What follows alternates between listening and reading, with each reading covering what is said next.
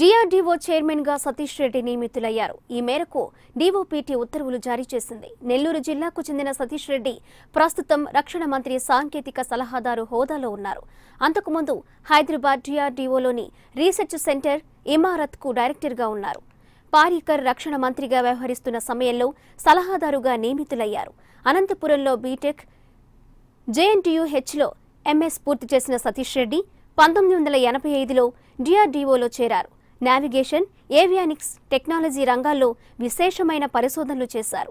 Indian science Congress నుంచి హోమీ జహంగీర్ బాబా స్మారక award స్వావలంబన పరిశోధనకు ప్రధాని నుంచి అవార్డు సహా పలు సత్కారాలను అందుకున్నారు.